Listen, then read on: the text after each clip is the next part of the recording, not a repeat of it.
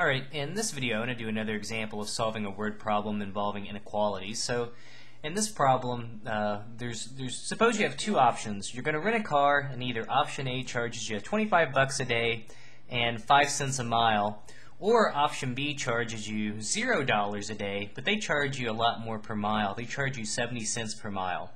And we want to know how many miles must one drive in one day for option A to be cheaper. Because certainly, right, originally, if you're only going to drive a few miles, better to pay the 70 cents a mile and not have to pay this $25 a day. so we're trying to figure out here, when is the cost of option A?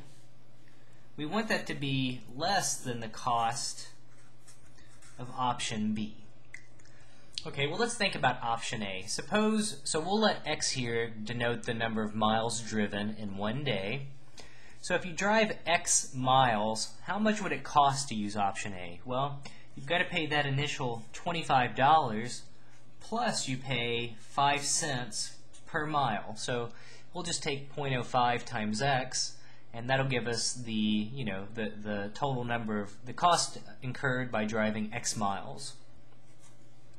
Okay, option B though, okay, we don't have any upfront costs like we did here, but it is going to cost 70 cents per mile.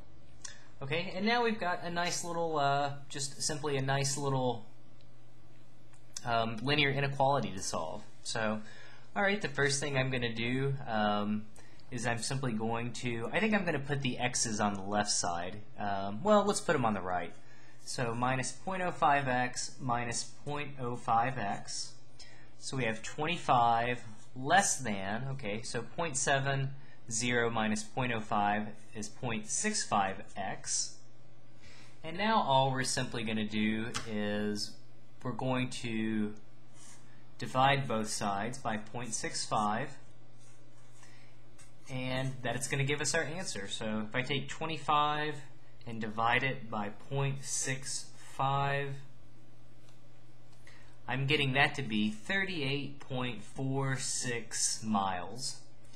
So maybe, uh, assuming you have to drive, I don't know, well, let's just leave it at that. Um, so suppose they charge you based on, you know, the fraction of the mile that you drive. It says basically if you drive uh, a little bit over 38 miles, almost 38 and a half miles, if you drive more than that in one day, it's going to be cheaper to use option A.